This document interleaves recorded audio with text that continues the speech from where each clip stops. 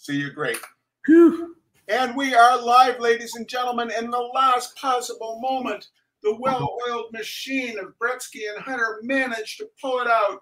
We were unable to hear Carl, and then all of a sudden we were. And this is primarily due to my technological ineptitude because the great Betty Sue is off on the road on tour with James McMurtry, driving somewhere between Oh, where was it? Baton Rouge and Mobile. I'm going to shut off my phone now because I've left her several panic messages to help me. Uh, and she will probably call in the middle of this, and then we'll have incredible feedback. Anyway, welcome to the Reasonably Fine Art Talk. Thank we, you. We are so thrilled to have today with us the great Carl Bretzke, who is wearing the correct t shirt, I see. How are you, Carl? Hey, great. Thank you. Exhausted trying to get our sound to work, but otherwise great. It, it, well, the thing that's great about that is we didn't have a chance to talk beforehand. I know. I always get you start talking about things, then you can't remember if you've talked about it live or not. So uh, anyway, we we are here. We are unrehearsed, and we are going to plow into the mystery that is Carl Bretzke. Carl, give us a quick overview. Where did you come from? I know you're one of these, most of us plein air artists are like graphic designers who aged out of graphic design. You, on the other hand, were a doctor. Yeah, but I mean, I think early on we were all the same. I was a an art nerd in school, so right. Um, I just ended up taking the easy way out and picking medicine. So right? And you did that for a while. And then what led to you deciding to go into the much more lucrative field of, of painting? Well, I mean, like I said, I, have done it since high school or grade school or whatever, and always loved it. And then I happened to marry an artist, my lovely wife, Christy. And uh, it was about 20 years ago. She was taking some classes from Joe Paquette, who's in our community. And uh, she said, You know, if you want to get back into your art, maybe you should take some classes from Joe because he's kind of, you know, kind of a straightforward realist kind of painter, and that's the kind of art that I like. So, mm-hmm. yeah. So you took a class from Joe, and then you said, "I'm going to do this for for a living." I mean, it's walking through the doorway of deciding to do this for with with one's life is is something that I like discussing a lot on this because most of our audience are people who have a passion for art but have chosen other other other ways of putting food on the table and are now kind of flirting with the idea of doing more and more art as a way of making a living. What caused you to walk through that doorway? Um, you know, it's I think all of us just end up having a passion for art as we go through it. Right. And it was just an itch I couldn't scratch when I was working full time in medicine. And so it was 20 years ago. I took classes for like 12 years with Joe. And then every moment I had, vacations, weekends, whatever, I was painting. And I think the beauty of having someone mentor you early on is you kind of see you kind of see the entrance to it all. I, I had no idea plein air painting was out there. I didn't really even know much really about oil painting or studio painting, but having seen other people then go through it, I kind of see, yeah, you know, I could do that and enjoy it. And uh, but again, it comes down to passion. I I just couldn't think of anything else for a while. Uh huh. Uh huh. And and and so, how long have you been doing this?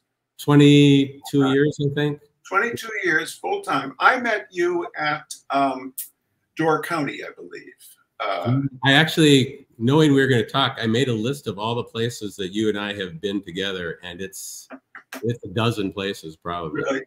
Yeah. What, what, what, if you've got the list, what what are some of them? Door County, yeah. Smoky Mountains, Lighthouse Plein Air, conventions, one, two, three, Texas Plein Air. I guess it isn't ten, but that's, that's, that's a good one. That Texas one. Are you doing Texas this year? No, I haven't done it for a couple years now. I'm it, going back. I didn't get in last year. They, they wouldn't let me in. They, I wasn't Texan enough. Uh, I, I, it's humbling and good. It's very good. It's very good not to get into an event. Yeah, yeah it is. Um, but one of the things that you're famous for in the plein air world is your nocturnes, your your evening paintings. Is that something that you are still? I've always said I'm going to stop doing the monochrome paintings when I'm bored with them, but right. it feels like I am still learning so much in doing them. Um, is that similar how it is for you uh, with with your with your night paintings?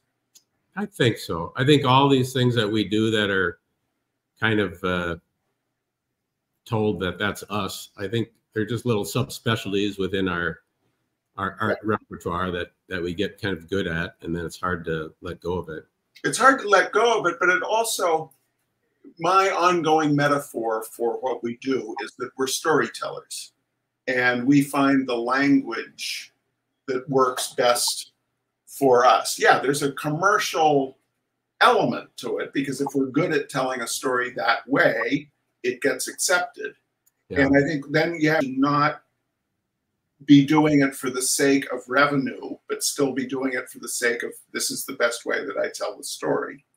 No, I definitely agree that the minute you're doing something for the revenue, it's you will not be successful.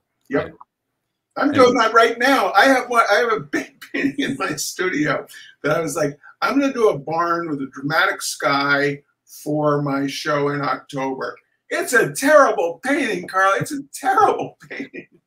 I get that. Um, but like the night scenes, and so I, I really studied the physics of light and color. I, I got, I've got a book from some really nerdy uh, physicist that kind of spells it all out. And I keep trying to find these things then in my paintings, and it's become almost half the fun of it for me. And so I kind of took that to the next level. I did a video on nocturnes and I did a video on sunsets. And so now any chance I get to paint those things, it's just fun. I, I can uh -huh. obsess for hours over how light dims and changes color as it moves away from a light source. And wow. it's real physics. And and yet you put it down the way it's supposed to happen and it looks correct.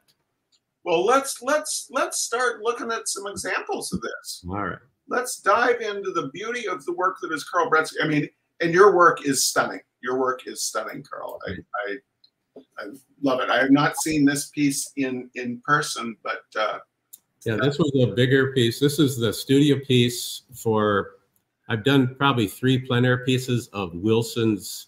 It's a Shake Shack and a hamburger joint down in Ephraim, Wisconsin. Absolutely iconic. I mean, it's right on the road. Everybody, when you first time you go to Door County, you say, "Oh, I'm going to paint that," and then you realize everybody has painted that. Exactly, but not everybody paints it at night, and so uh, that's another advantage of doing these night scenes. You get work that other people aren't doing, which uh, anytime you can stand out as different, I think that's good. So my difference here was that I painted it at night. And again, I'm paying attention to that fall off of light uh, and the glow around lights at night. And um, it turns out I was there painting this scene earlier and I stuck around to eat a hamburger, I think, and came out just as they closed and this waitress, the last waitress came walking out, and I just thought it was such a stunning image. So that's called the last waitress. It's 30 by 40. Yeah. Now, now, so so did you ask her to? Did you snap a photo of it, or is this? I'm sorry. I just snapped a photo of her and one other waitress walking across the street, and I just kind of focused in on her. Right. So it's this is a was this painting done for Door County? So it's primarily a plein air painting with the figure inserted. No, this painting was done for uh, my gallery in Sag Harbor, New York.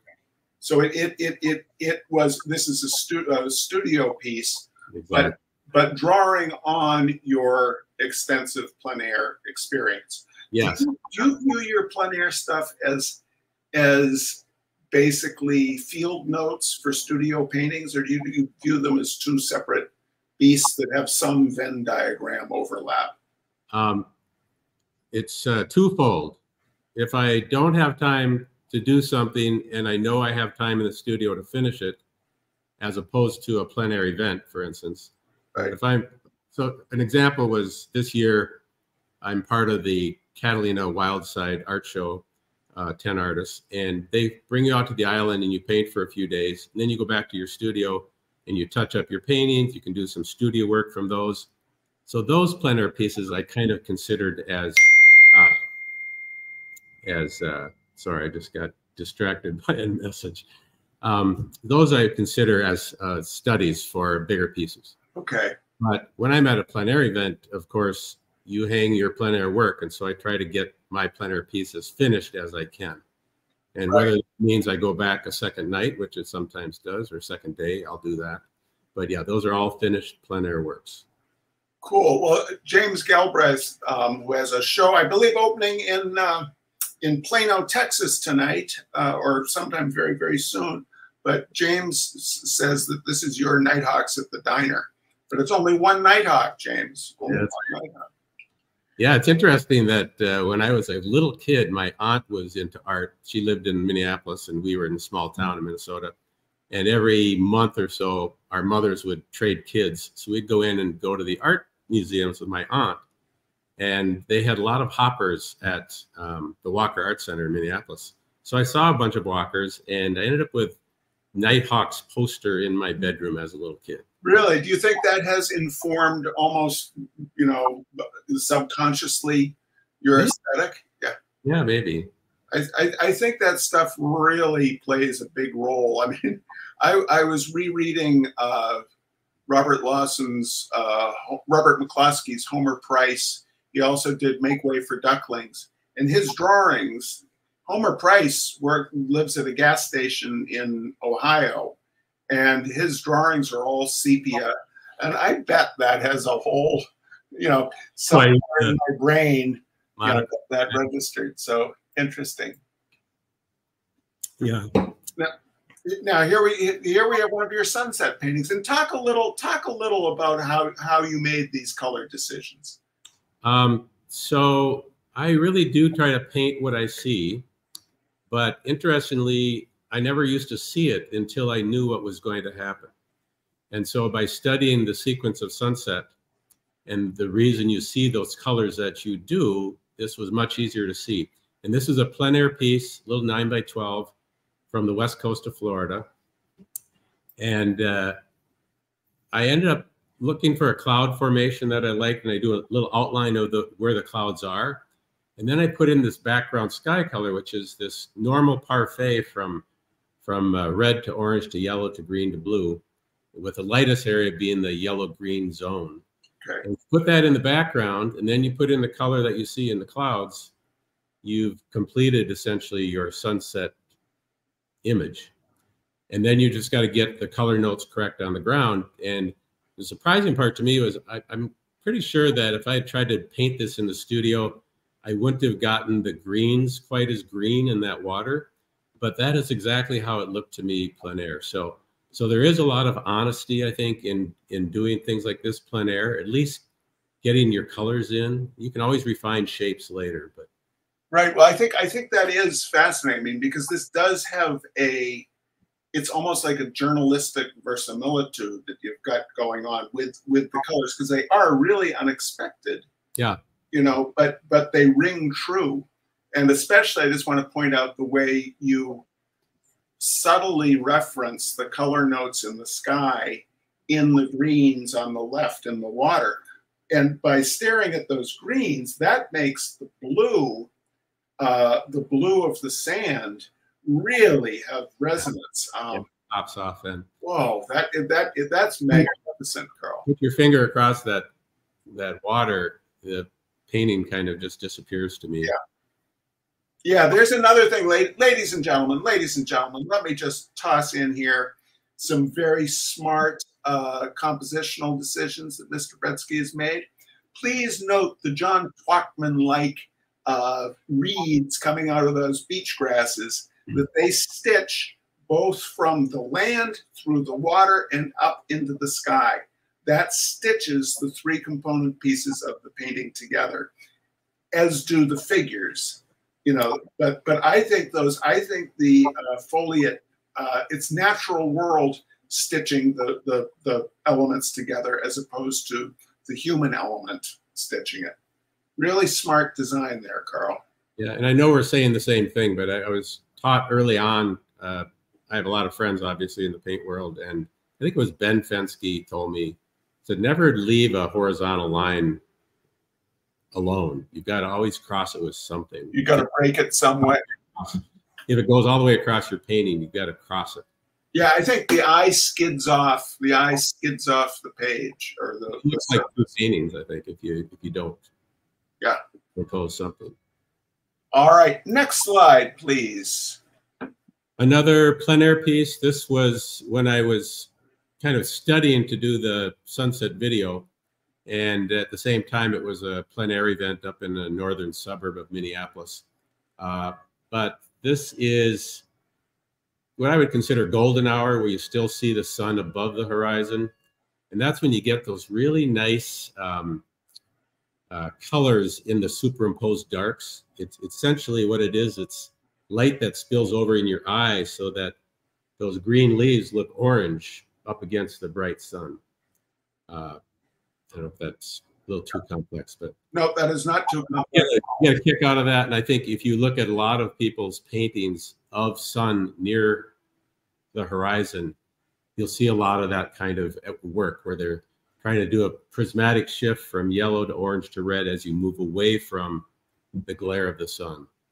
Now, now as someone who works monochromatically or very, very low chroma in plein air work, how do you keep how do you keep your colors from muddying?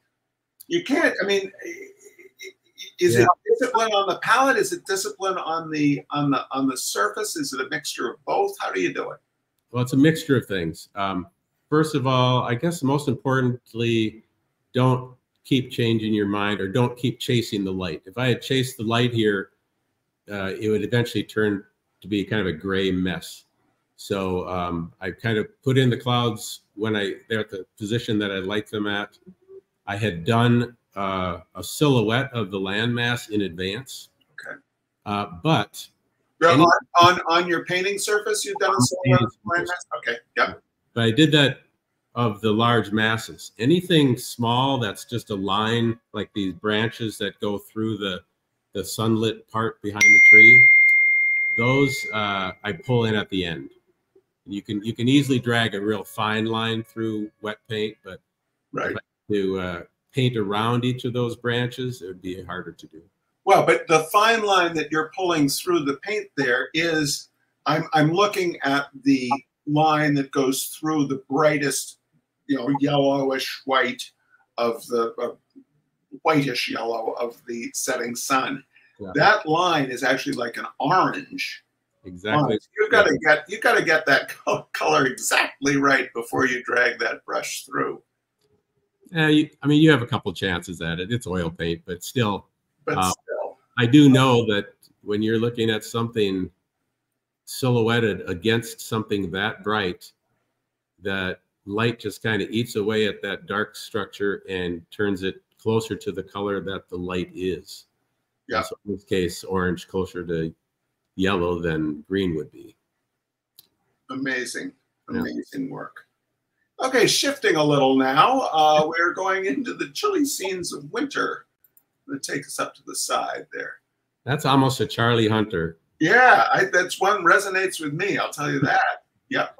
So um, obviously a lot less color. This was painted plein air until I got too cold and I went back in the studio and I think I refined the figures or popped some new figures in or whatever. But I really am a nut for this these tonal changes that you see with distance. So mm-hmm. uh, that's what this was about. And against this dark kind of very slate gray, almost stormy sky in winter, which we get up here quite a bit in Minnesota. So yeah, I guess it was the, the tonalism that that caught my eye and uh, a loose narrative. There's ice fishermen on the water. The other thing is that to Minnesotans, it's a very familiar scene. Uh-huh. And I think familiarity is overlooked in in art. I think that anytime you can create something that someone else goes, "Oh yeah, that reminds me of this" or something, I think that's, I think you're doing people a favor if you bring back memories and such. Right. Well, I mean, okay, so so that is that's that's kind of a, a very pre-modern modernist way of looking at things. I mean, the the idea of kind of uncomplicated sentiment is we are we are taught to kind of shy away from that. And you're saying you don't see anything wrong with fully embracing that.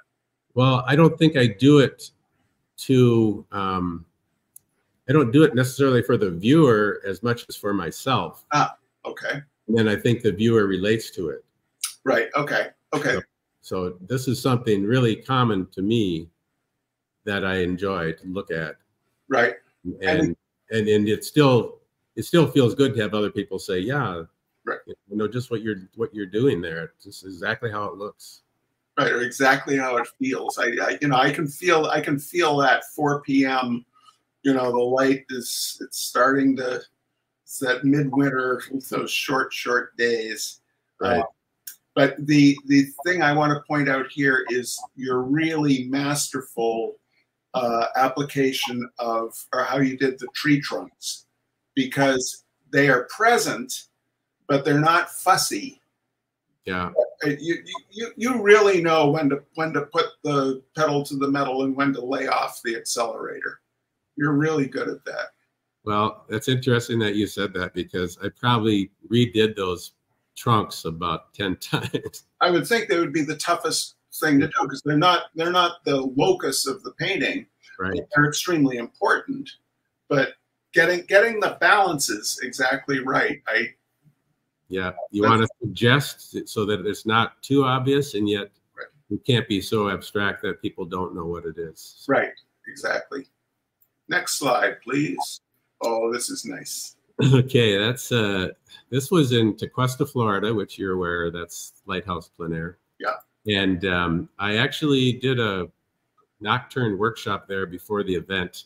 And I did this scene as a I think a nine by or eleven fourteen study.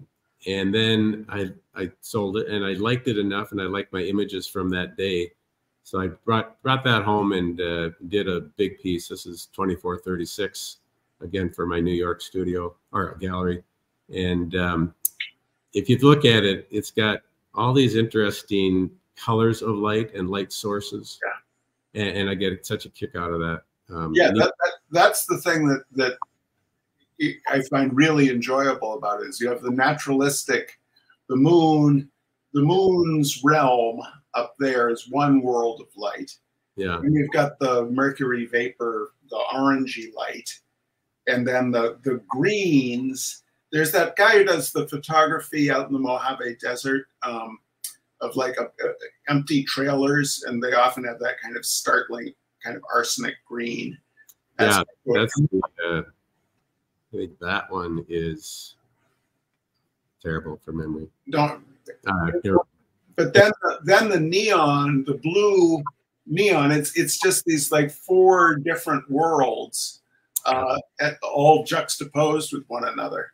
Yeah, I think the other, th the other thing you'll find is I put vehicles in my paintings quite a bit, and to me they're they make it look more real, and it also gives it a little bit of scale, like it's like putting a figure in. Yeah. Everyone knows exactly how tall those cars should be. So. Right. Well, now the, one of the things I like about this is that it, it has almost a pastiche quality to it because the the worlds of light don't really, at least in my looking at it now, and explain to me if I'm looking at it in, incorrectly, but they they seem to have kind of a dominion to themselves that, that they are the, the blue realm the orangey realm the natural moonlight realm. Was that a conscious decision to keep them isolate, or is it is is is that a reasonable depiction of what the reality was? Well, I think that um, in general, artificial light at night, there's not a lot of spillover of color between one and the other because the light doesn't travel very far. Okay. So to me, it was more a matter of how to lay it out compositionally so that it feels like a balanced painting. Right. And so my eye goes to that red neon, but it's kind of balanced in the upper outer third on the other side with the moon. Right. And then the rest is your eye just kind of keeps following where the rest of the lights are. Yeah. Yeah. Now, now, now, the light, the orangey light in the sky. Yeah. Tell us a little about the physics on, on that, because that goes from, or, or the color choices you made there, because you're going from, you know, the, Right. the light source to that kind of reddish glow into the blue of the clouds. Right. So I don't want to lose anybody, but this is uh it's a prismatic color shift and it's actually occurring in your eye and uh, it's going from a short wavelength yellow light to a longer wavelength red light as you move away from that light source. And as it superimposes over the darks behind it, it starts to blend with those darks. So near the light source, I'll start blending a little bit of orange with that cloud color. And as I move out, I'll move shift it to more of a reddish color mixed with the cloud. And then finally, maybe alizarin even mixed with the Mhm. cloud. So that if you just sampled a bit of that cloud behind the orange light, you would see some some form of red or orange in it. But it's not going to be just orangey yellow. If you did, if I just took orangey yellow, the color of that light, and filtered it into that dark behind it, it would turn to be kind of an ugly gray. Yes, that and that is why, ladies and gentlemen, Charles Hunter has never become a noted nocturne painter. it's exactly what he does. That's precisely what I wanted you to do, Carl Bretzke. I wanted you to get into the into the that world of knowledge that you you have. So feel free. We're a bunch of nerds. We're all nerds at this table. Okay. So uh, this is great. All right, next slide, please. A little change, a little change here. I had to prove that I can paint during the day too. So this is um, a plein air piece from the Catalina Island Wildside Art Show last year, and uh, I, I, we took uh, couple cars across the wild side of the island. I think I had Cindy Baron and Shauna Coons and John Budicin were with me, and we would make stops along the way, and I would just do a small piece. This is an eight by ten. Uh, and bring those back to the studio. If I wanted to do a bigger one, then I could. Um, it also reminds me of the colors of the day if I wanted to do a studio piece. So this is one of the smaller pieces I did, but uh, I I liked it because it was both tonal and it had some interesting color. Mhm. So So, so in your plein air rig, what is how many how many tubes do you carry with you? all right, so I got my palette from Joe Paquette, and uh, it's classically it's been called the prismatic palette. and so it's a lot more colors than a lot of people would put out um, and i'm not sure if i started over again and had someone other than joe that i would have decided to use that many colors but i go from white to cad yellow light cad yellow cad orange cad scarlet cad red so those are the warm colors and you can see how easy it is for me to go back and forth in a night scene then from yellow to red i just Right. got the palette and then the cool colors, I go from uh, manganese blue to cobalt blue to ultramarine blue, and then violet. And then as a modifier, I have black on my palette. You do.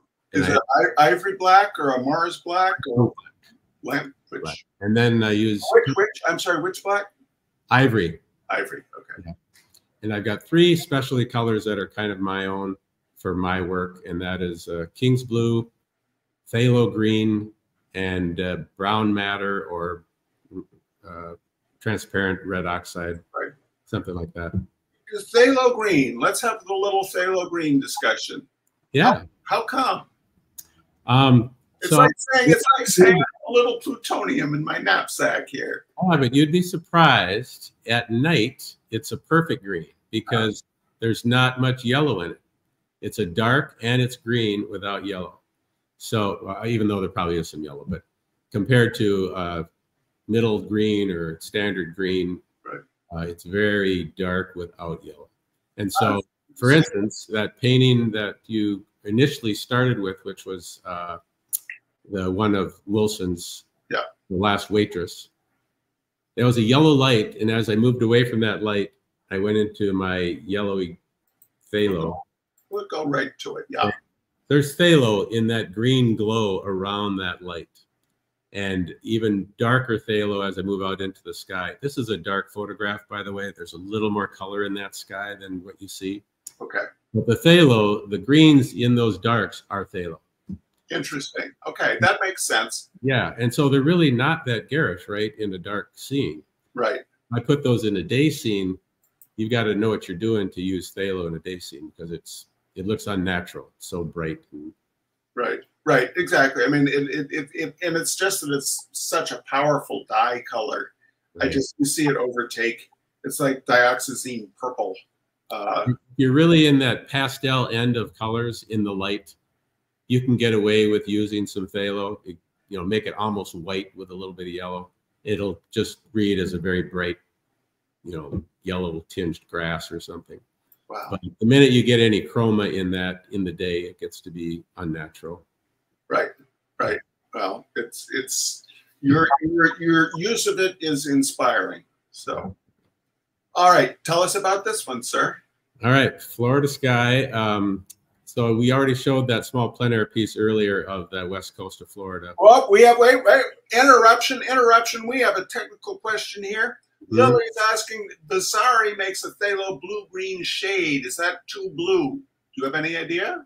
I've used phthalo blue before, and actually that works well in uh, ocean water. So I'm sure there's there's places you could easily use phthalo blue green shade, but I don't use it, so I'm not a good one to ask. All right. back back to the matter at hand. Another studio piece because this is All right. 36, right? Well, I approached this in the studio the same way I approached the uh, plein air piece on the west coast of Florida. I I put in kind of a dark silhouette where those uh, grasses are on the beach, and then fixed my horizon, and then I went to work on doing the the sky. And I did the sky exactly like I would in the field. I outlined where the cloud shapes were going to be. I put in that background sky color, which is the orange to yellow to green to blue. And then I was careful to uh, work the color into the clouds the way I wanted them. You notice that near the horizon, there's a little more warmth in those sky colors Mhm. or in those cloud colors, and then they get cooler as you move away. Um, you lose edges in the distance compared to the more foreground elements of those clouds. The other thing to notice is that um, there's nice perspective in the sky as well as on the ground. So you can, you know, you can Yeah. really harness some of that sky perspective to to make things recede in your painting. So, Yeah, to talk about that a little. Is the is your brushwork in the same? Is your brushwork consonant with the um, with the kind of epic swirl? You know, the, the, the rising. You've got this huge sky. Yeah, well, at the end, um, you can kind of see where I kind of dry brush dragged a little bit of color from that top cloud in the direction that the wind was coming from. So I guess that's the only place where I would say that my brushwork really entered in too much. It's more a matter of edges, I think, and I I have a lot, a lot of soft edges where the blue meets the the orange, and also a prismatic color change. You notice it doesn't go from orange to blue; it goes to orange to red to alizarin to blue and that softens that edge in a color sense also i think Uh huh. Uh huh. Wow. A lot going on here, sir. A lot going on. okay all right so another one from ephraim wisconsin door county plein air this was from And that well, that's the same. That's Wilson's right down there. correct yes wilson's at the bottom right or middle bottom right and uh, so i when i pulled into door county for that event my host family lives in ephraim so i drove by that scene and I was just so in awe of that dusk color in the sky. And I was tempted to go start painting, but of course we don't stamp our panels till the next day, which we did.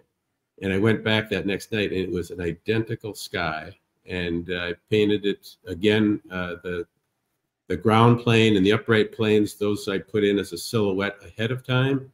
And then when the correct time period occurred at night, which was after the sun went down, and I got the colors I wanted. Then I put the sky in as fast as I could. I always match the water up with the sky uh, at the same time because those two have to be congruous.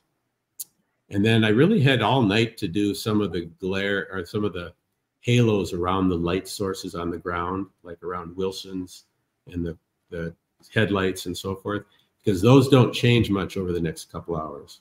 Interesting. Interesting. So so a lot of what you're talking about is knowing when is the appropriate time to work on the various aspects of the painting. Exactly. There's a lot of timing component to it. And the other thing that most people don't do that when I do a workshop, I insist they bring, if I'm doing sunset, to bring a night, uh, a nocturne light. And I will turn my light on as it gets near sunset. And by the time sun is down, I'm not even thinking about it, but I'm still seeing my image clearly enough to keep adding paint. And I think most people pretty soon they can't see what they're doing because it's so dark. So yeah, it helps to have a light on as you're doing this. Well, I suppose if we're celebrating our nerdiness, is there a particular type of nocturne light you find superior to all others? well, um, I have a good friendship with a guy in California who makes lights for a company called Art Escape. It's artescape.us. He's got many different uh, styles, but two basic styles. And uh, you can adjust the warmth and the coolness of the light and the um, and the intensity. And at the same time, it's very lightweight and attaches very firmly to almost any easel. So that's what I'm using. All right. If we had Betty Sue here, she would be putting that on a banner and throwing it up on the screen, but we don't have her. So, all right. Artist, they'll just have to watch this part of it again. Okay. Look. Now, hey, one question. Yeah, one thing, Charlie, and that is that if you go on Amazon, you can find some piano lights for 30 bucks that are actually not too bad. So, really? Okay. Yeah, you don't have to have the an expensive light necessarily. So how long on the ones that your your friend makes? How long does I assume their their battery?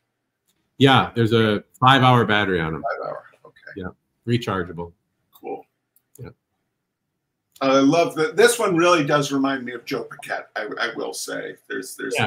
a aspect to it. Um, so in you know with Joe, he had a, a, way of teaching where you start out with an underpainting, uh, so you can march your darks back correctly then you add color later. And I, I, do a lot of that to this day, especially for tree trees as they recede, the shadow parts will become uh, lighter and bluer as you go back typically, and a little more color in the foreground trees. So this was um, quintessential Fish Creek in Door County. There's these cute little houses down by the water uh, and the big Midwestern trees. And uh, foreground element here, the cars with the little hedge row next behind them. So it had everything I wanted. It had some color interest. It had some gradation from front to back. It had a car for scale. And uh, yeah, that's it. Yeah, well, and, it, and it's got, I mean, I think that's a Ford Bronco over there on the right. So that has associative memories for people who like Ford Broncos. And the, the thing I like about this is that it, it is it harmonizes even though your color worlds of your man-made structures are so disparate. The pink to the teal to the, the white. You know. You're asking me about phthalo green. Well, one place you can use it during the day is if you have an unnatural object in your natural painting, like a car or a weird color on a house. I think that that house had some manganese blue, maybe a little phthalo green but you know we associate that with something unnatural so it worked out fine. Right. really nice nice piece. Thanks. And an interior now. Yeah i'm a fan of interiors. I don't do a lot of them but um, again i think it comes down to seeing how light drops off away from an uh, artificial light source and creates glow in certain areas. Um, i like I like some mystery in my work, and I think noctur- or nocturnes and interiors allow for a lot of mystery. you can just see some vague shapes over on the right. Those are people sitting there, but uh, you'd have to look real hard to know. Right. You still get a sense of it. It's something something going on there. Um, two dominant light sources here. One, of course, over the table, and the other on that fish on the right. And I like to play off between those two a little bit. Um, The, the passage from the light over the table to the light on the feller's closest to us hair. Yeah. Uh, I think that that works magnificently well. yeah, that was that hair is almost the same brightness as the light source itself. Yeah, really nice. you didn't quite get there. I mean, you got to the brightest thing will always be the light source. So you could even have a mirror on that table, and it's got to be down in value. A little- in That- fact, the mirror on the back wall, um, Right, that has the light source, right? yeah, the light source. Now, and where, where, where is? Just out of curiosity, is this in Florida or no? Lobster Trap. Uh, this is another one that'll this will be for the um, Wild Side Art Show, Catalina Island Conservancy Oh. again this year, and this is in Avalon, uh, California, on Catalina Island, and it's it's kind of a locals joint, and every time I go, I go into this this restaurant bar and eat. So Neat. it's a kind of a fan favorite for the island, I think. That's cool. Now, there's in the comments, there's a little discussion of someone asking about the company name of the light you use, but Kelvin actually found it. So Okay. it's Artescape, Artescape US, correct? Artescape.us, correct. Yeah. There we go. Thank you, Kelvin. Appreciate that. And the final slide, the final slide takes us to the incipient holiday season. I put this in. It wasn't quite done, but it's it's not going to look that much different when I finish it. Uh, but this is Minnesota in December. This is a kind of a classic suburb view, uh, and I had a friend who had who lived near this spot, and at night, our wives and I would walk out after a snowstorm and see this kind of stuff. Right after Christmas, I think, so the lights were still out, but there's not a lot going on. Uh, but I don't know this this I can just work on for hours trying to get that exact prismatic shift and light drop off away from a light source, like in that little porte cochere or that little porch area, and then away from the, the small light bulbs in the tree. And, uh, and if you look at the string of colored lights in the foreground, each one of those has a little halo around them, very subtle, but that's what makes it look like a glowing light. Right. Well, the, the thing I love about this is the harshness of the street lamp Yeah. juxtaposed with the light on the snow. The color transition between those two cars, Yeah. if you go from between those two cars to the to the house, the way that you that you are seeing color is just so delicious. Hmm. You know, I just that is magnificent painting. Well, that was a, a good um, example of trying to balance color with neutrals. And it's something Joe Paquet has always talked about. But uh, this one, there's the color wouldn't be as beautiful if you didn't have a lot of neutral color around it. Right. Wow, it's that's that's that's terrific painting. Thank you. terrific painting. All right. Well, that's a quick a quick tour through the magnificence that is Carl Bretzke. What do you got coming up? Anything you need to flog, Carl, or uh, is it? Well, um, yeah, I've got a bunch of stuff coming. Um, I've got a two man show out in Sag Harbor, New York, in the Hamptons. That's October 15th. October 22nd is that Wildside Art Show in Newport Beach, California. I've got a couple of plein air events. Um, Laguna Invitational is early October. Grand Marais Plein Air Invitational local event, that's end of September. I'm going to do the Lighthouse Plein Air event again in March. I don't know. I, I know I'm forgetting a bunch of them, but That's that's that's pretty busy now. Normally, normally I would have put up. I would have in the few minutes before we go live. I would have put up, created a banner that says for more information, carlbretzke.com. But because we were having our technical issues, I didn't get around to that. What what's your website, Carl? carlbretzke.com. Whoa, what are the odds? So just take my name and add a .com and you're there. All right. Well, thank you so much, Carl. It's been terrific talking with you, and I look forward to painting with you down the road. Yeah, I hope so. Thanks, Charlie. Good to All see right. you again. Good All to right. see you. And thank you all for watching the Reasonably Fine Art Talk. We, we won't be here next week. I've got to go do, I've got to teach in Michigan. That's it. But then I'll be back after that. We'll see you soon. Bye bye.